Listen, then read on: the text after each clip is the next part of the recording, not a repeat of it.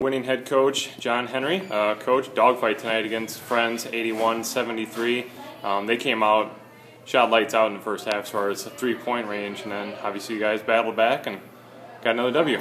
Great win for us. Um, showed some stamina and conditioning late and uh, a little bit of guts there uh, to pull it out against a great team that has a, a great program.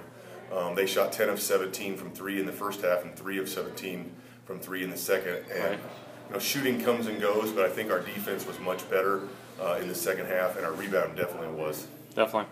Um, you were, uh, you know, struggling a little bit. To it seemed like the enthusiasm was a little bit down at the start of the game. Maybe it was just me, but it seemed like the guys were maybe thinking, "Hey, we can we can walk over this team." I know they were missing. They're without the their stud from last year. He had graduated and such, and maybe they thought they were a little lesser team, but we, or it was just a non-conference game. I'm not sure. We practiced poorly right. two days uh, leading up to this game, and we've uh, had some adversity that we've overcame. We were mm-hmm. missing one of our better players tonight. Right. Um, suited but did not play. Coach's decision. Sure. Um, and I thought winning this game without him, um, with different players being shifted around, uh, was very very important to us moving forward right. Uh, and building our team bond. Sure.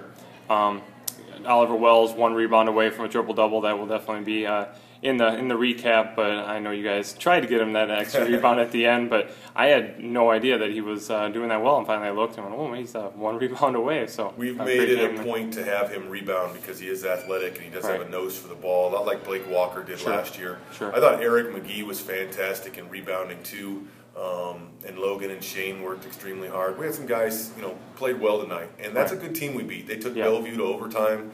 Um, and you know, to, to get this win, uh, to get to five and two is really important. Definitely.